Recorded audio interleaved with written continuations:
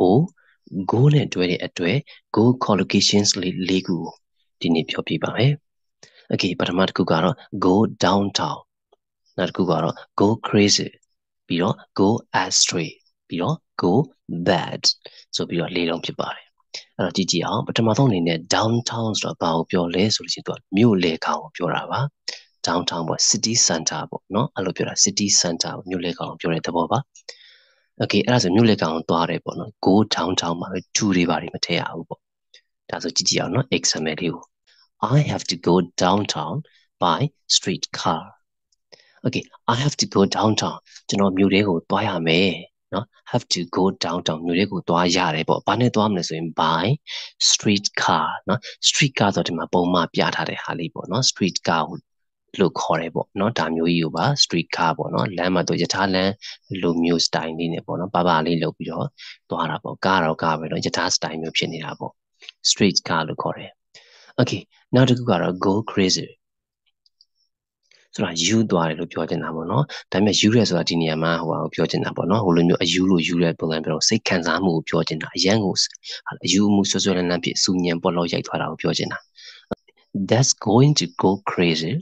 when he hears that I quit my job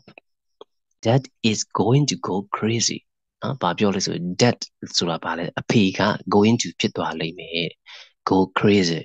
နော်ကျွန်တော်အဖေက crazy ဖြစ်သွားလိမ့်မယ် one အခါမှာ he hears သူကြားသွားရင်ပေါ့နော် that I quit my job ဆိုတာကျွန်တော်အလုပ်ကထွက်တယ်ဆိုတာကိုဒါသူကြားရင်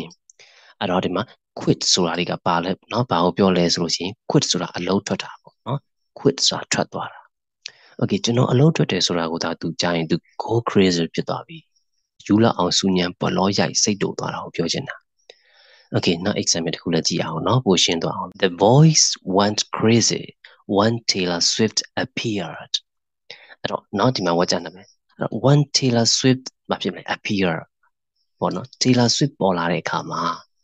ဒီကောင်လေးတွေကအော်စူညံပေါ်လို့ရိုက်သွားတော့တာပဲเนาะ state စင်ပေါ်မှာတချင်းဆိုဖို့ပေါ်လာတာပေါ့ဆိုလို့ချင်းတာစင်ပေါ်တက်လာတဲ့အခါမှာတော့ကောင်လေးတွေက go crazy ဖြစ်သွားတယ်เนาะယူသွားတယ်ပေါ့เนาะယူလာအောင်စူညံပေါ်လို့ရိုက်သွားတယ်ပြောချင်တာ okay go crazy နောက်တစ်ခုကတော့ go astray okay astray ရဲ့အဓိပ္ပာယ်ကဘာလဲဟုတ်နော် astray ဆိုတာကနေရာတစ်ခုမှားရောက်သွားတာပေါ့လမ်းမှားရောက်သွားတယ်ဆိုတဲ့အဓိပ္ပာယ်ပြောတာပါ okay အဲ့ဒါဆိုကြည့်ကြအောင်နော် for example John will go astray if he becomes friends with bad Jack bad Jack ဆိုတာဘာပြောလဲဆိုလို့ရှိရင်နော် Jack ဆိုတာကလူနာမည်ပေါ့ bad ဆိုတာကဆိုးတာကိုပြောတာအဲ့တော့ဟိုမြန်မာလိုလှလှပြန်မယ်ဆိုလို့ရှိရင်တော့လူဆိုးလေး Jack ပေါ့နော်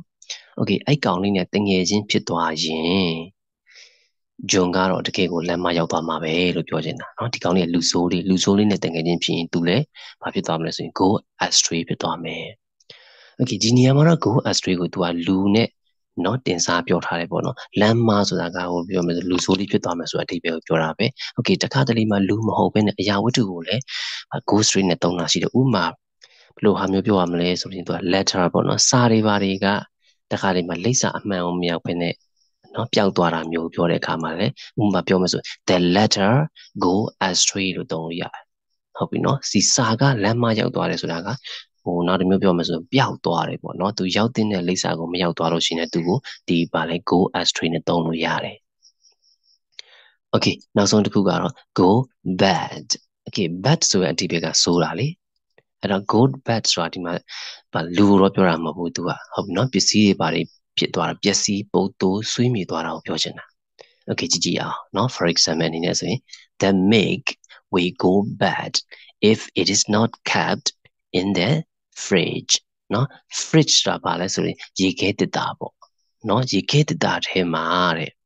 နော် cap ဆိုတာထည့်တယ်အဲ့တော့ရှိမှ not ပါတော့ရေခဲတစ်တာတွေမှာမထည့်ထားဘူးဆိုရင်နော် make ပါလဲဆိုရင် no တွေကပေါ့နော်ဒီနွား no တွေက we go bad go bad ဖြစ်သွားလိမ့်မယ် okay the milk will go bad if it is not kept in the fridge နော်ရေခဲတာတွေမှာလာထဲမထားဘူးဆိုရင်ဒီနွား no တွေကပုတ်တိုးသွားလိမ့်မယ်နော်ချင်းစော်နန်းသွားလိမ့်မယ် okay ဒါဆိုဒီနေ့ပြောခဲ့တဲ့ go နဲ့ပတ်သက်တဲ့ go collocations လေးလေးခုကတော့ go downtown go crazy go astray ပြီးတော့ go bad okay အဲ့ဒီလေးလုံးမှဖြစ်ပါတယ် Okay, buddy. If you enjoyed this video, don't forget to like and subscribe for more videos. Catch you later.